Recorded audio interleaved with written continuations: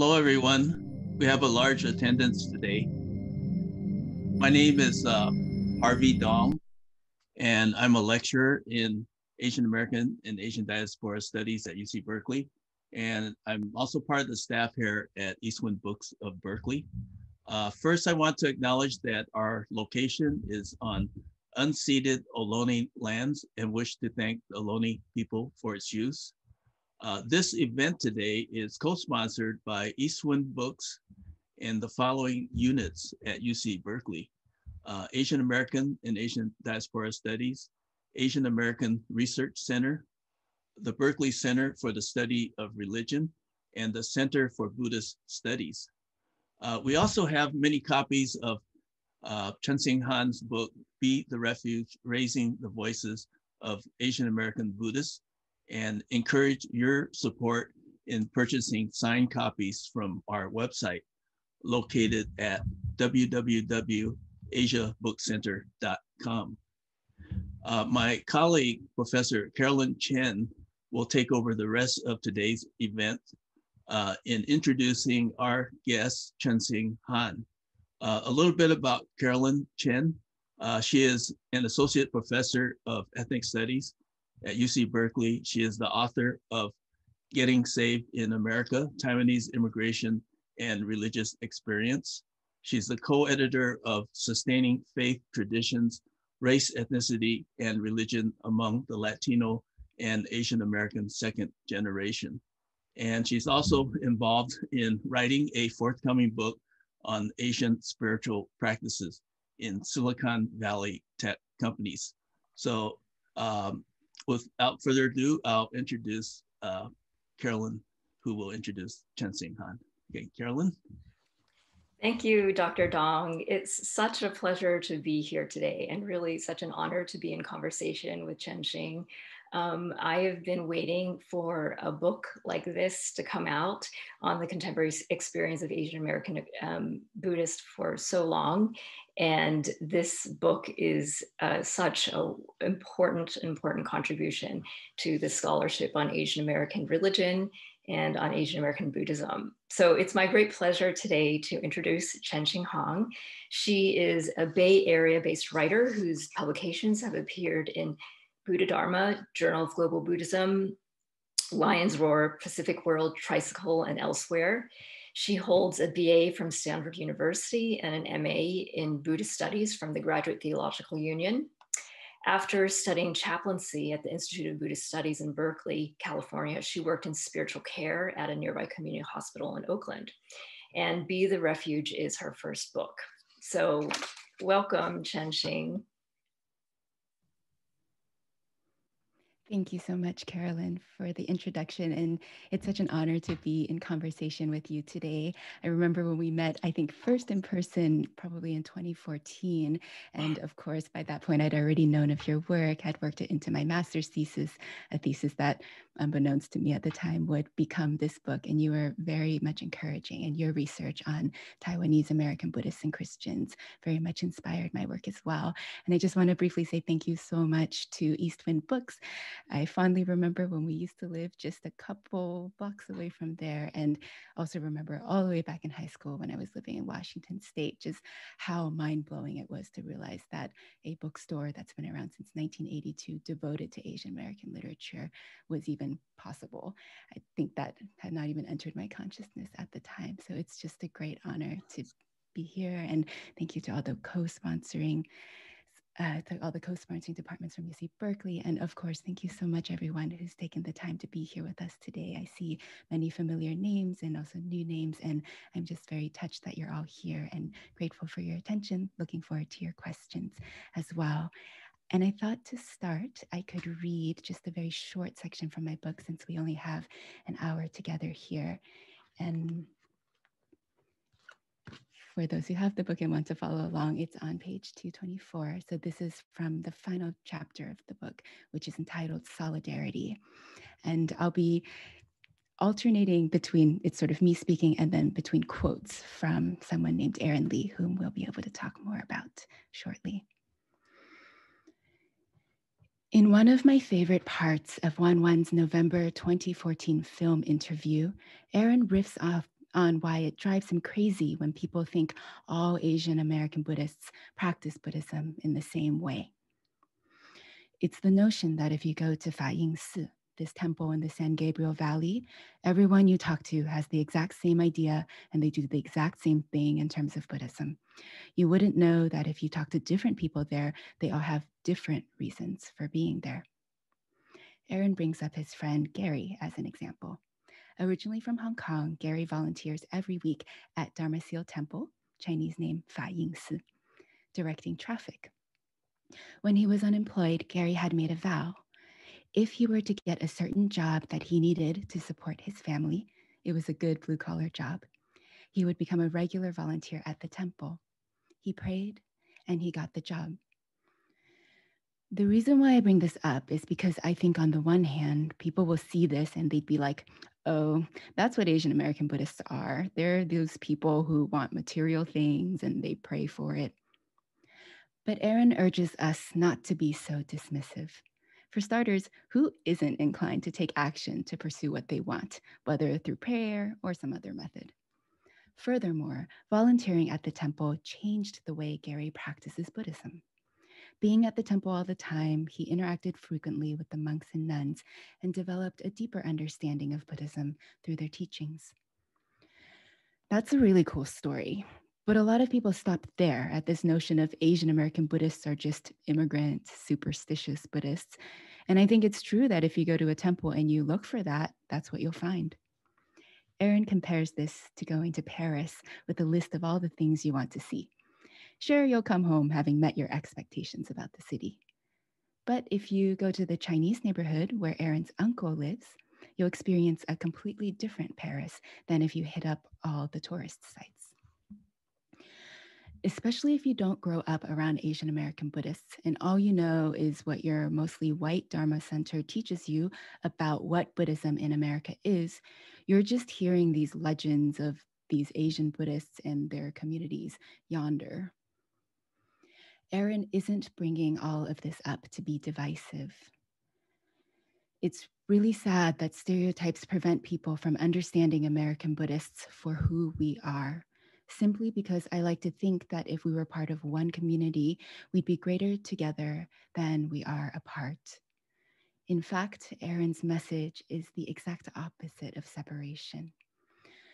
I'd like to think the reason why diversity is so important is because each of us sees the world through a different lens. We only see a very narrow piece of the world. And so when you get all of our perspectives together, we have a better understanding of what the world is and how things work.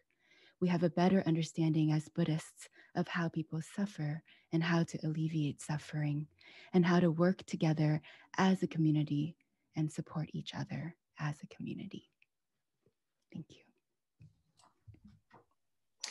Thank you, Chenxing. That was beautiful. Um, I think that one of the great strengths of your book is that you really show the um, complexity and the diversity of the Asian American uh, Asian American Buddhist community and Asian American Buddhism. Um, and you know, one of the things that you highlight in this book, and one of the central themes, is anger. Um, which is not a word that we typically hear in Buddhism, right? Um, Buddhism in Buddhism, it's it's often considered a form of mental defilement. and yet, you write in your book this beautiful line that, quote, anger can be a skillful means, and you compare it to a controlled burn for preventing the devastating fires of racism and inequity that plague our societies. So I'm wondering if you can talk a little bit about Aaron Lee, who is um, um, who plays a prominent role in your book and is the well-known angry Asian Buddhist blogger. And if you can talk about him and the significance of anger to Asian American Buddhists. Absolutely. So I want to also acknowledge, I think Aaron's mom is on the call with us today. So thank you so much, Naomi, for being here with us. Um, I first knew Aaron, not as Aaron, but just as the angry Asian Buddhist. Here's a postcard actually that Aaron once sent to me. And this is a blog that Aaron Lee started back in 2009. The title riffs off the title of The Angry Asian Man, which I think many people in this audience will be familiar with. And Aaron wanted to look at similarly issues of race and representation, but in American Buddhism in particular, especially since he noticed mainstream representations of American Buddhism were so dominated by white convert voices. And so he actually wrote anonymously, in part to protect his identity, and in part because he kind of felt anyone could have written this and felt strongly about these issues. So Aaron himself was Toisanese Chinese, multi-generation Toisanese Chinese on his father's side and Ashkenazi Jewish on his mother's side. And his own connection to Buddhism is rich and complex as I detail throughout the book, Be the Refuge. And I was very fortunate that when I started my master's program at the Institute of Buddhist Studies in Berkeley, in the Graduate Theological Union, that my advisor, Scott Mitchell, actually was very active on the Buddhist blogosphere of that time. And so was Aaron, of course. So my advisor put me in touch with Aaron and I told him, you know, I have this idea of interviewing young adult Asian American Buddhists. I'm really inspired by what you've written and kind of his challenge to really ask where are all these voices? Why aren't we hearing them?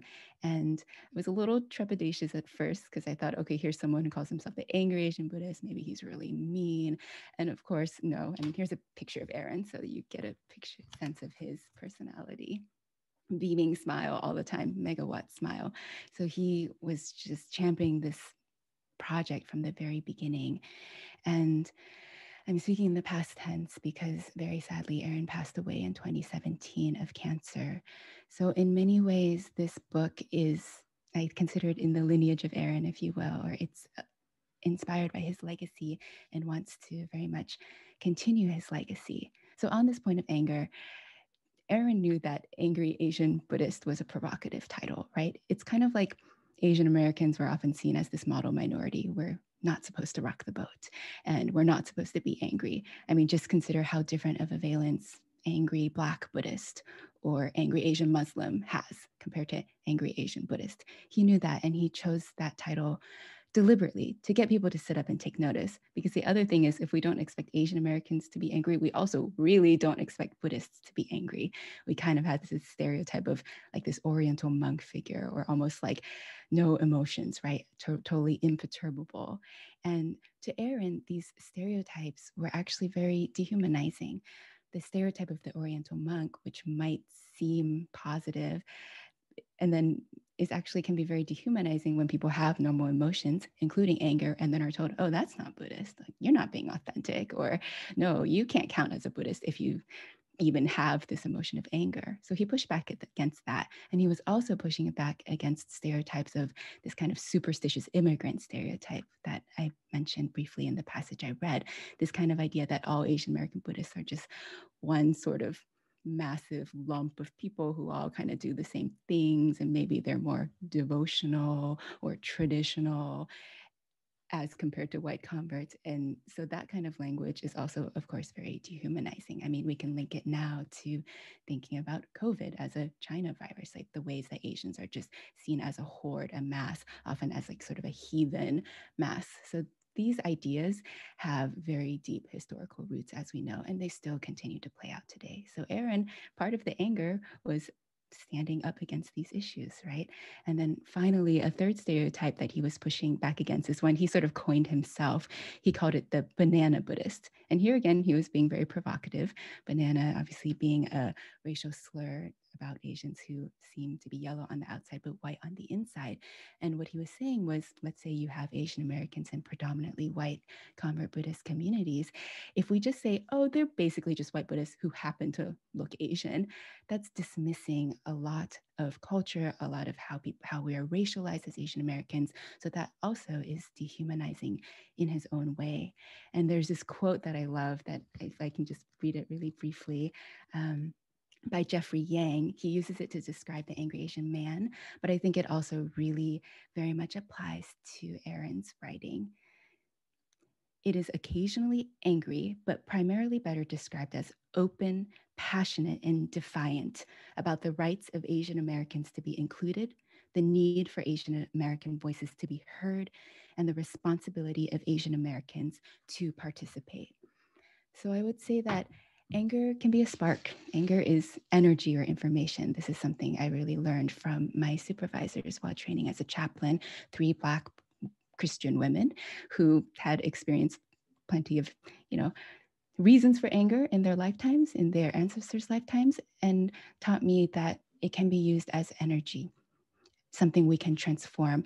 So I think that anger can be the spark, but generally it's not so useful to use it as a fuel just because we ourselves tend to be harmed. And if Buddhism really is about alleviating harm, which I think is something many Buddhists share that aspiration, I would argue that Aaron may have like talked about anger as this kind of spark, but he really used loving kindness or what we call metta in the Buddhist tradition as his fuel. That was one of his meditation practices. Loving kindness is kind of an extending goodwill to all beings. So the anger was a skillful means or upaya, as we say in Buddhism. And you know, and he himself was also very open about saying like you know sometimes i've messed up or sometimes i've been misinterpreted. He worried about that and he would apologize to people you know if they'd been hurt or he would really try to explain his words. And so to me he always came from this place of love and i hope that that comes across in my book as well even if there is a flame on the cover. Yeah um, that's um, so provocative thinking about that um, juxtaposition of um, love and um, and anger together um, and and I love how you put that as um, anger as a form of energy right? And if you connect it with love it's like love energy right in, in some ways. I'm wondering if you could you know as, as you were talking there was a lot there that you were um, that reminded me of this theme of two Buddhisms, which you keep on coming back to in your book, and which is uh, really a very um, common narrative in the academic literature on American Buddhism. And I would say not just um, in the academic literature, but I would say it's part of the consciousness of American Buddhism or really white American Buddhism. So for those of us who are watching, I'm, I'm wondering if you could explain a little bit more what that concept means and, um, and, and how it shapes the way that we see and that we don't see Asian American Buddhists. Yeah, absolutely. Let me just read a short paragraph from page 10 because I think it summarizes it a bit. And you'll notice I'm using lots of scare quotes in this paragraph. The dominant story of Buddhism in America is that there are two Buddhisms the Buddhism of white converts, and the Buddhism of Asian immigrants. What differentiates these two distinct and mutually isolated brands of Buddhism?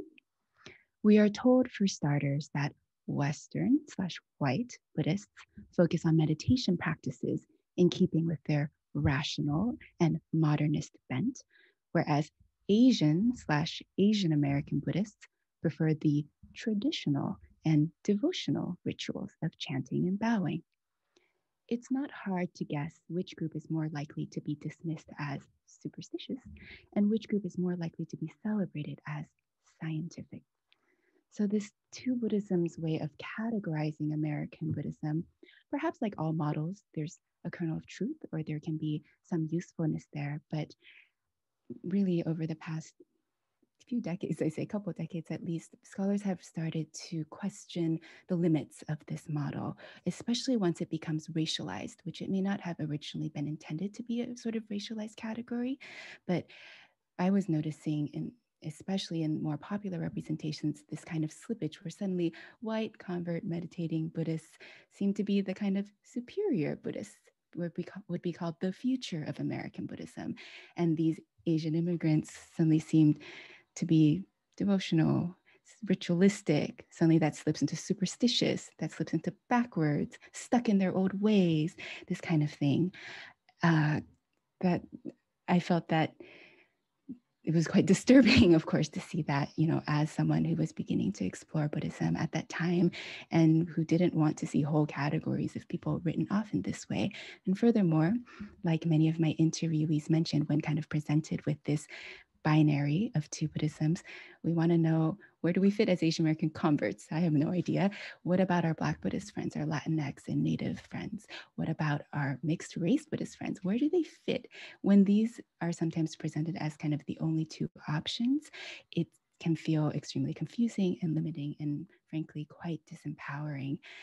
So there's a lot more I could say, but I guess in general, what I appreciated about having conversations with 89 different young adult Asian American Buddhists. I did 26 in depth in person interviews and 63 email interviews. Is that we got to question this model and think about what are some other ways we can talk about actually the many Buddhisms and really the vast diversity and complexity of what it means to be Asian American Buddhists.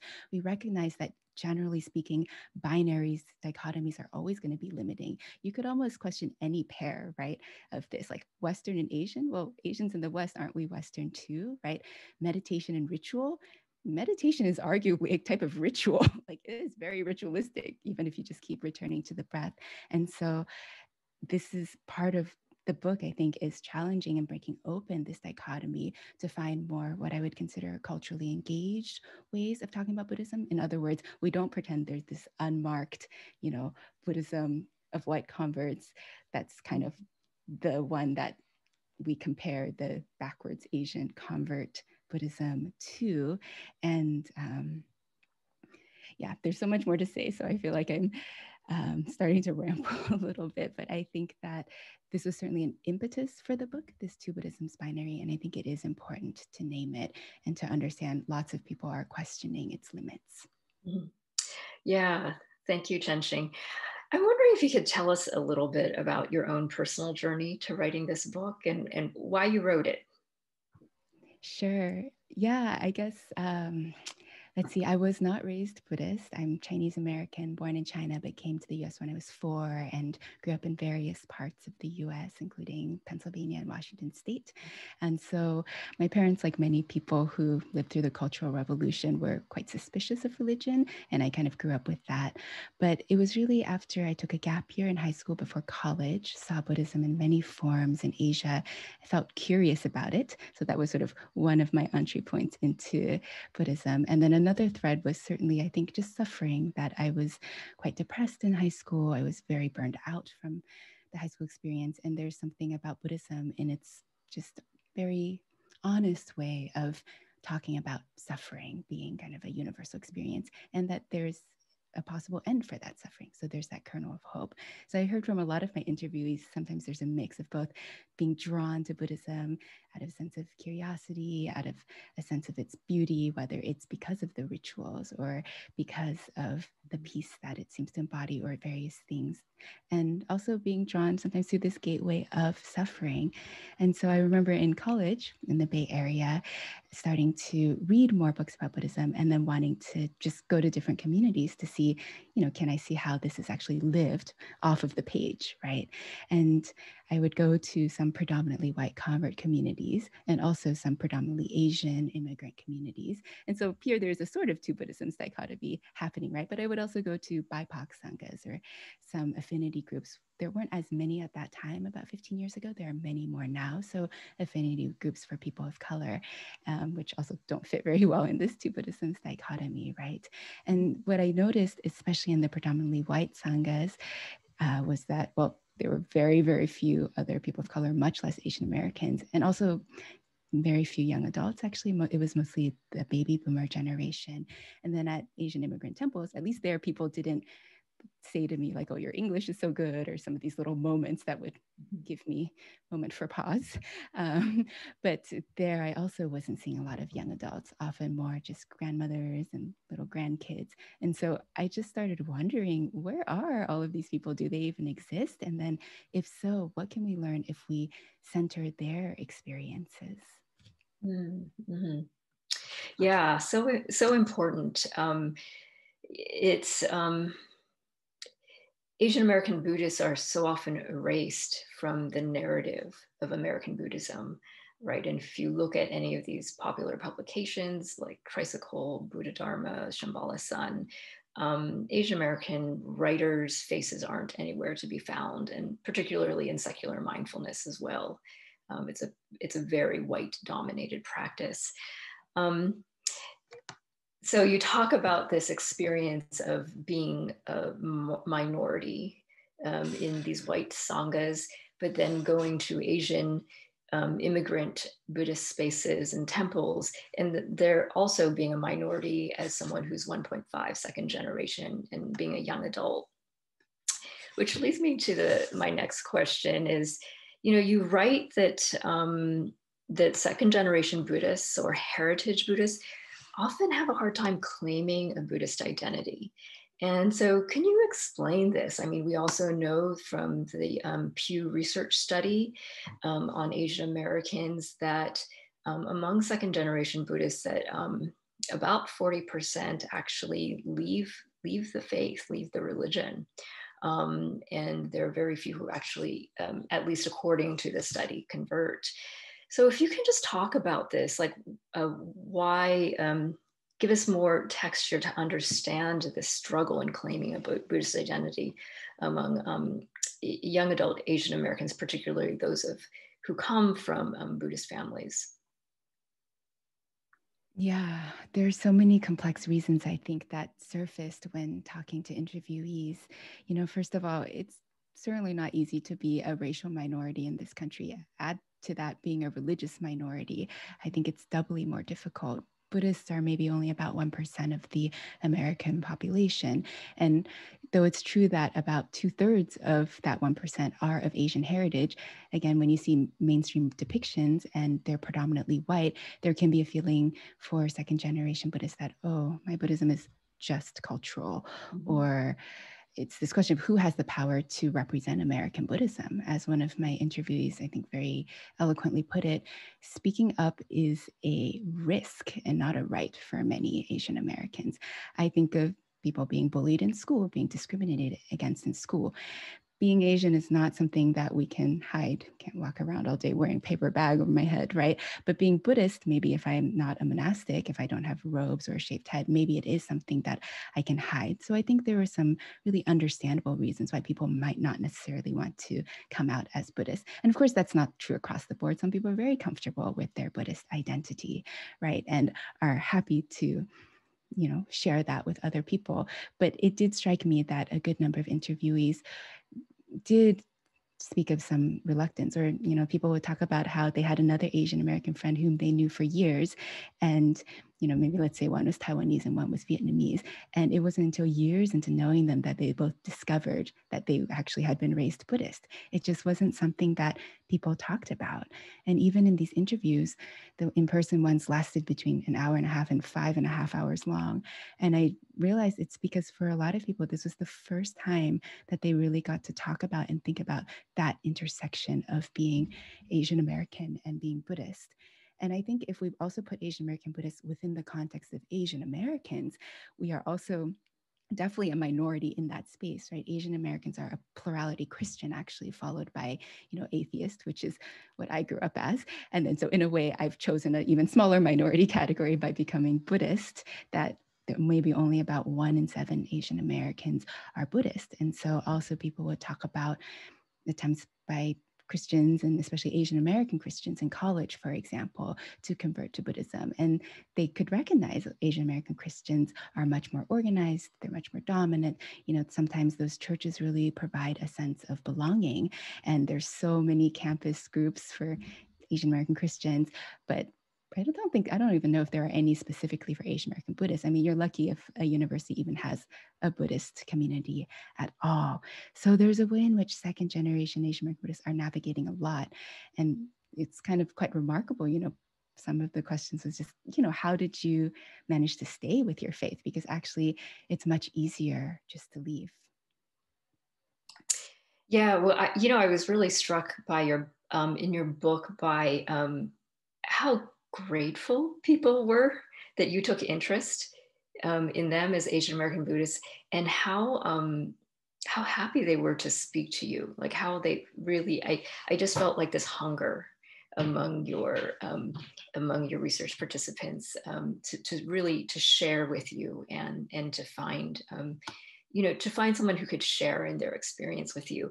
So I'm wondering if you could talk a little bit more about how um, young adult Asian American Buddhists are, you know, given this, given that they might not feel like they belong in white sanghas, and they also might not belong in these Asian immigrant um, Buddhist temples.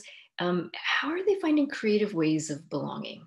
And the and if you could talk about the creative ways that they are reclaiming um, their faith. Yeah, that's a beautiful question. Uh, I want to say that, you know, I was also so grateful and happy to talk to all these people because when you ask about my personal journey, this book came out of a place of some loneliness and confusion, of course, curiosity too, right? So it's like, oh, we're not alone. And I think to answer this question, it's helpful to briefly mention that the book is divided into four parts. And the first part is called Trailblazers. So that's really focused on the on Jodo Shinshu Buddhists who tend to be Japanese American. And for them, um, they, excuse me, water. Many of them, I think, grew up with a sense of actually quite a bit of belonging in their communities. But in this community, it's rapidly diversifying. So it's not just Japanese American anymore. And they're grappling with, you know, reaching out and creating spaces that include Buddhists of other backgrounds or other sects or people who are just exploring, I think we can actually look to them for models of how people are creating ways of belonging that are culturally rooted, but also mm-hmm. inviting and universal and specific. So, for the second part of my book, which is really focused on what I call second gen Asian American Buddhists, people who are Asian Americans who were raised by Asian American Buddhist parents who came to this country, you know, I in the book I talk about them forming youth groups and especially youth groups where English is the predominant language. So their parents or grandparents may have Khmer or Lao or Thai or Chinese as their first language, but that can make the temple experience feel a little alienating if you're not fluent in that language. So, creating these spaces for youth to kind of explain Buddhism in a way that is understandable and relatable for them, right? I think service is a big component of that, of that as well. Um, and then I think for the third part of my book, which I say is about quote unquote first gen or convert Buddhists. In other words, they're the first generation to be Buddhist in their family. Like myself, that can also be like we haven't had the experience of growing up in temple. We don't even know how to bow or these things that second generation Buddhists are often just blessed to have learned as a matter of course. And so for them, I think in these predominant, often maybe if you enter Buddhism through predominantly white convert communities, there's also a forming of affinity groups, but also just this curiosity of how do we form solidarities across racial groups? So i think that i think it's still very much an identity that's still in the making asian american buddhists right? We're playing with the limits and possibilities of this category. And i think even just as a first step people starting to realize oh, like we're not alone. We're kind of part of this big Buddhist family where we don't necessarily know all the members of this family. Um, the family is actually very diverse. There's tensions and fractures even within this family. Maybe parts of this family are estranged, but I see this growing interest of asking like well when we use buddhism as our common ground how can we start understanding some of our pain points the points where we've been hurt and also how can we start healing some of those pain points. So to give a very concrete example um, on May 4th, which will be exactly 49 days after the Atlanta shootings, there's going to be a National Buddhist Memorial Ceremony for Asian American ancestors. And I'm helping to co organize this with Dr. Duncan Williams and also Dr. Funie Hsu. But we're bringing together Buddhists from a wide range of different Asian lineages. And it's you know feels actually quite historic because we also have the endorsements from hundreds of people from Asian American Buddhist communities, but also from out what we're calling ally Buddhist communities, people of other backgrounds, and also just from individuals of lots of different religious or even non-religious backgrounds. And for us it's kind of a statement of healing of solidarity and you know it's it's just really um, exciting actually to be in this time even as there's been so much hurt and trauma and pain during this time because I see a kind of reclaiming, a kind of pushing back against dominant narratives with two Buddhisms or pushing back um, if I can, I just, there's this quote that I really love on page 213. I think if I can read it. Um, so this is from Tassa, who's a Sri Lankan Buddhist, and she's responding actually to a Chinese American Buddhists. So already that kind of like intersectarian, interethnic dialogue, I think that young people are so interested in. It feels like such a rich ground for forming just deeper spiritual friendship. So she says, at Lirio, I can't begin to tell you how much your words mean to me. I too often feel like I don't know enough about the texts and history of Buddhism when faced with the white Buddhist establishment. I'm so sorry you have had to endure the silencing and racism you described. I have not interacted extensively with the white Buddhist community, and so I have been spared some of the more painful realities of that in some ways. I used to think that I didn't know as much as they do about Buddhism. And then I realized the history and context of Buddhism is written on my body. It's molded in my skin. It flows in my blood. It filled the air I breathed when I was born in Sri Lanka. We have everything we need right here. I hope you keep writing about your Buddhist experience as well. I would love for us to continue being in conversation. And when Aaron read this as the Angry Asian Buddhist, his response was Sometimes it feels as though I'm the only Asian American Buddhist blogger out there, but it's times like these that remind me I'm not alone. There are hundreds of thousands of Asian American Buddhists in this country, and we are ready to speak out and stand up for our inclusion, dignity, and respect. Thank you so much, Chenxing. Um, that there you gave us so much food for thought there. Um, I want to. I just want to be careful, the mindful of the time, and I know that we want to turn to the audience for um, who I, I think uh, for Q and A right now. There's a couple of questions, uh, some comments that could be questions. Uh, should I just read them? Um, okay, so one is uh, I have noticed this in several faith backgrounds, Christianity, Ju Judaism, Islam, etc., that some con congregations lose uh, people in their 20s and 30s and then regain individuals back again in their late 30s to 40s age range. Uh, is that a trend and why is that? I know for um, Jodo Shinshu Buddhists, they often talk about that, and I read about that in my book as well. You know, people are off in college and they may not be close to the temple that they grew up in. So it's understandable that this phenomenon would happen and that people would come back to it. And I think also Buddhism, some of its concerns around, you know, old age, sickness, death might perhaps appeal more to older people, but not exclusively. So I think that there is this trend, and perhaps Carolyn can speak to this as well, you know, as a sociologist, but that it's part of the picture and, you know, not the full picture. Okay.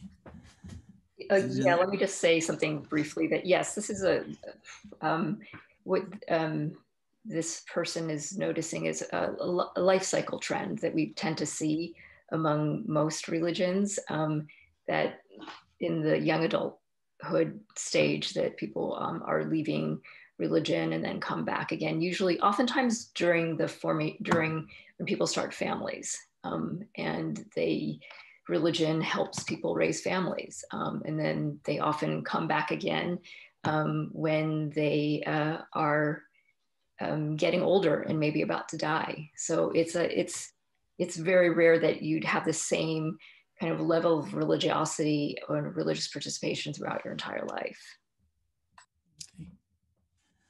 and then there's another question. Um, let's see. A comment and a question tied in. Uh, aggressive Christian missionizing and proselytizing as a form of systemic faithism is an all too consistent fellow traveler with anti Asian racism, uh, though often goes unspoken, uh, unacknowledged, and unaddressed how does that set of shared lived realities and experiences help frame Asian American Buddhist expression, life, and worldview? Okay.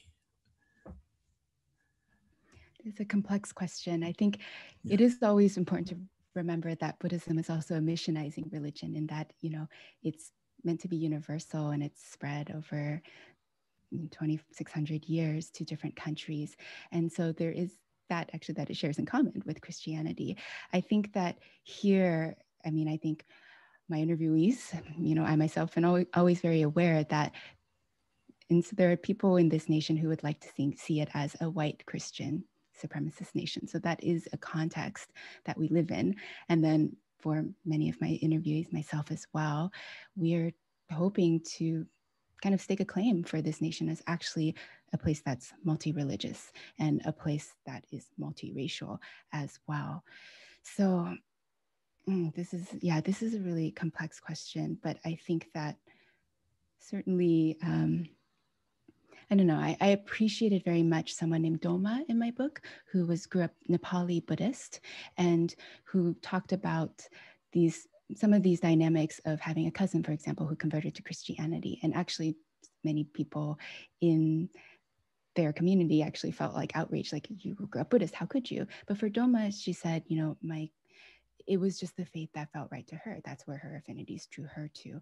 And so similarly, I think like that there's truth of there can be like a lot of violence and tensions. And I think I also just want to lift up that there are definitely people, I think you know, Asian American Christians who've expressed support for my book and are concerned and want to address some of those more aggressive proselytizing methods when they can cause harm or can cause ostracization and can feel like there are sort of a, you know, maybe almost like racist strands there. So I almost feel like we have a whole separate conversation about this question, but I appreciate the question. Uh, another question. In your research and interviews, did you come upon narratives of transnational adoptees raised by white parents? I am a transnational, transracial queer adoptee from China and wonder about the complexities of Western heritage Buddhism from white caregiver uh, parents. I would love to see a whole book on this. Thank you so much for sharing this perspective. Um, yeah, I think I do quote like one or two people who would fall into that category. And yeah, this it's so complex you know it's not the central focus of my book because i was just trying to bring together a very broad diversity of voices but i think for some people it's you know, it's it's different to be. Um, so, for example, Reverend Lien Shutt in the book was um, adopted from Vietnam, and she writes quite eloquently of just emotionally, psychologically, spiritually, what it was like to be raised. I think from a very young age, actually within a Vietnamese Buddhist context, but then, you know, to be, I believe she was raised Christian, um, I may be wrong, but then to return to Buddhism oh, through a predominantly white convert community. So there are so many extra layers of complexity there, you know, that someone like myself who was raised in a Chinese by Chinese parents couldn't fully understand. But yeah, I think remembering how diverse, complex what it means to be Asian American is, how diverse and complex what it means to be Buddhist is, once we put those things together, you know, I'm writing this book not so we can sort of all come together in sort of monolithic way and say this is who we are, but I think so that we can actually understand deeply some of our differences and hopefully through that understanding, we can heal some of the tensions that exist, frankly, within the Asian American community and even within the Buddhist community. And then there's another question. Uh, what role, if any, does anger play, which you addressed earlier, uh, in Buddhism for you or the people you spoke with, particularly when it seems that a major aspect of Buddhism is about letting go of attachments? I think I spoke to this more at the beginning, but yeah. yeah. like I think recognizing that, like all emotions, it's sort of an impermanent state that comes and goes. But, you know, I think about how sometimes if we really ignore anger or try to bypass it, that can cause more harm than good. I think about how it's generally not helpful to expect Buddhists to go around completely free of emotions as if we're robots, which then just plays into another unfortunate stereotype of Asian Americans, for example. But, you know, I think about how it felt to watch the George Floyd video. And I think of all the emotions that came up around that. And I think that if someone hadn't felt some kind of anger or grief or like some kind of emotion, I would be pretty worried because sometimes our anger rises just because, in the face of when we feel compassion for an injustice, that's where our anger arises. So I think I just want to recognize it's a human emotion. And as Buddhists, you know, we are all doing the best we can as humans. We're all trying to alleviate the kind of inevitable suffering that happens in our life. So that would be my response. And I do recognize that it's a tricky topic within Buddhist circles because it is very important not to, I think, sometimes feed anger, right? But again, using anger as energy, as information that then we can transform into skillful action that doesn't harm ourselves or other people. And then there's um, another question. Uh, do you think there is an appropriate way to build a grand Buddhist narrative in which every American Buddhist can find themselves and keep their own narratives at the same time? I really like this question. I might be inclined to say maybe no, because you know you sort of like it's like one narrative to rule them all. So if you had a thousand narratives and you wanted one narrative to rule them all, then you just have a thousand and one narratives. but I do think there's ways we can talk about Buddhism in more nuanced ways that can feel more inclusive for people. Mm-hmm.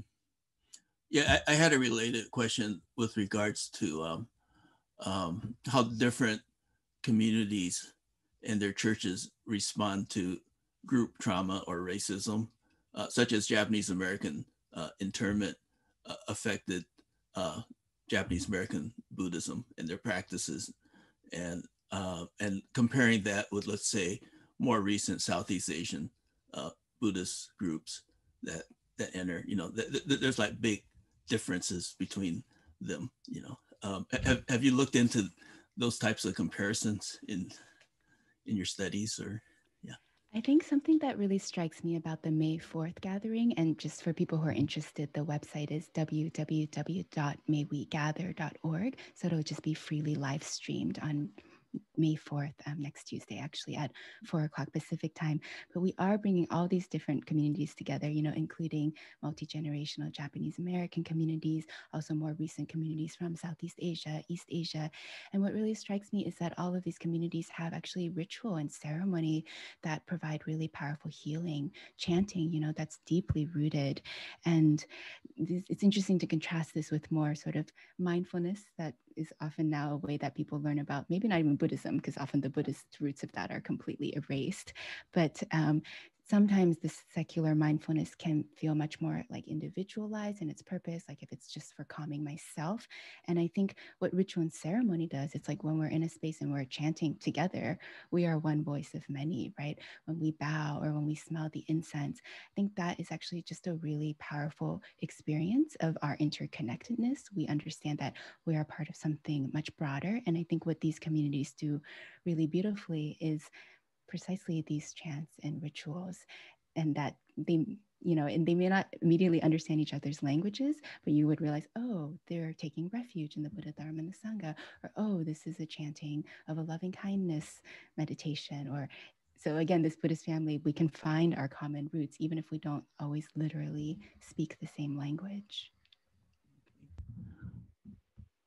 Another question. For folks that did not grow up practicing Buddhism, what advice do you have for them to explore and live a Buddhist life? Um, I think just you know follow your curiosity and follow the sense of maybe where your affinities take you. I remember when i was first starting to explore buddhism and i asked the buddhist teacher like what books must i read? Right? And maybe maybe for christianity there's the bible but then there's so many buddhist sutras and texts and i was thinking like i wanted like the definitive canon or something to read and he just said you know it's very hard to recommend books because every person is so different every person's affinities are going to be really different. And I remember the time being like a little put out by that answer, but in retrospect, I'm so grateful because it gave me space to just be open and explore. So my advice is there's no one right way to do Buddhism, but you know, find places where you feel some sense of belonging, where you feel some kind of nourishment, where you can imagine yourself forming deeper spiritual friendships. In Buddhism, we say often that spiritual friendship or kalyanamitta is the whole of the spiritual path. So find those friends and allow yourself to be open and surprised. How are the trans Pacific interactions between Asian Buddhism and Asian American Buddhism shaping the racialized reality of religion in the US? Are there any positive developments happening? Trans Pacific interactions.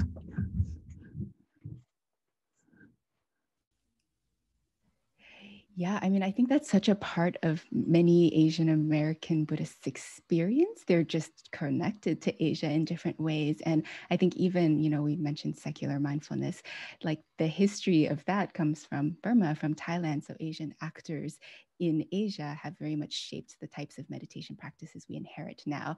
And this goes against a sort of more simplified narrative of, oh, Buddhism was brought to America in the 1960s and 70s by white converts who studied with Asia. In fact, it's all much more complex. So I think that there's, uh, you know, this is that's a big question, but I think like Asian American Buddhism already is trans-Pacific Buddhism, and I think there's a way in which, yeah, there's it's no accident that the second part of this book is called Bridge Builders. Like we are building those bridges. Our lives are already very much for many of us tied to Asia. Then I think we have one final question. Uh, do you find any evidence of historical or contemporary uh, geopolitical conflicts or related underlying rivalries manifesting as obstacles or getting expressed in interviewees' uh, Buddhist journey, such as China, Tibet, Vietnam, China, Japan, Vietnam, Cambodia, Vietnam, etc. Yes, I think the short answer would be yes. So to give a concrete answer, for example, Detunu, who's grew up, you know, Sri Lankan America and Sinhalese, talks talked about grappling with being very concerned about um, Buddhist nationalism in Sri Lanka and the implications of that, right? Right now, things in Burma. So I think yes, young adults are are very much concerned about that. I know that you know people who are Chinese and Taiwanese American thinking about China in Tibet. So there is something very unique about being in America and being Buddhist in the sense that eh, like if you live in LA, for example, you get to rub shoulders with so many different Asian American Buddhists that generally wouldn't be in such close quarters in Asia. And there's a way in which we're all racialized as Asian American. I think that can be disempowering in some ways, but it can also be really empowering because we suddenly get this opportunity to understand other people's complex histories, to understand, you know, the ways that our own maybe heritages that we came from historically sometimes have also been oppressors and not just the oppressed. So I think all of those complexities are being taken into account by by young Buddhists as well. And that was our last question. And I was just wondering if uh, Carolyn uh, had any questions to add just based on uh, attendees' comments or. You know what? I do have one question that I'm dying to ask. Um, if we just have time, we can make, make it really brief. Um, you know, the story of how you come to the title of your book, um, Be the Refuge, is really moving. Um, and I'm wondering if you can explain to us what that title, Be the Refuge, means and especially what it means for Asian Americans and Asian American Buddhists now at this moment of heightened anti Asian violence right now. Yeah, you know, when I was writing this book, which went through many iterations, I didn't have Be the Refuge as a title at first. And the title came about actually, like so much of this book, was from Aaron again. So actually the very first blog he was a part of was a group blog called Dharma Folk. And then out of that, he started writing The Angry Asian Buddhist. But towards the very end of his life, when he was going through really intensive chemo, he actually started a new blog and it was called Be the Refuge. And for him, it was very personal. It was him realizing you know, he could lean into his own Buddhist practices, his meditation practices in the hospital, and through just little things like thanking everyone who came into his room or trying to just be friendly to everyone, how he could actually be a refuge for himself, but also for the people around him. You know, he helped us organize bone marrow drives so that we could kind of feel a sense of a way of being a refuge that if this was something that wouldn't save him, he said it could still save many other lives. And so I see us together as continuing to author the blog posts of Be the Refuge. And by author, I mean it in a sense very writ large. It doesn't necessarily literally mean that we're writing blog posts or even books, as in this case, but we do it just in our everyday actions or sometimes inactions when we refrain from doing something harmful or when we do something positive. And for me, it's just a powerful. Um, addition to a Buddhist literature that seems so dominated by books that could be titled Go Meditate Now. And maybe being the refuge is you know, may look like meditation in one moment, but it also might just look like cooking a meal for someone and sharing it with them, or having a cup of tea with someone who you're having a conflict with. And you say to them, I care enough about this friendship to just let's let's try to work things out right? Let's try to continue these karmic bonds of spiritual friendship to put it in buddhist terms. So be the refuge is really both i would say an invitation and a challenge. It's easier said than done but it's a way for us all to figure out kind of creatively how we can be refuge create a sense of safety home and belonging for ourselves and then our loved ones and indeed for all beings Yeah, thanks. Thanks for uh, explaining that title. It's very relevant to our times. Um, I want to thank Chenxing Han for her presentation, uh, Carolyn Chen for her assistant, uh, Kat Sen for um, uh, organizing the technical part. Uh, please join Eastwind Books in future readings. Our website is www.asiabookcenter.com.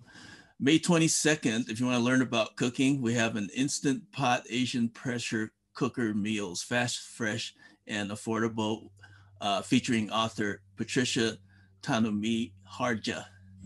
And June 26th, uh, we have uh, uh, performer, singer, artist Nobuko Miyamoto uh, to present her book, Not Yo Butterfly, my long song of relocation, race, love, and revolution. Uh, one final announcement, uh, Chenxing Han's book, uh, signed copies are available at www.asiabookcenter.com. And thanks everybody, thanks the audience for coming and um, enjoy the rest of the of your day. Thank you. Thank you, everyone.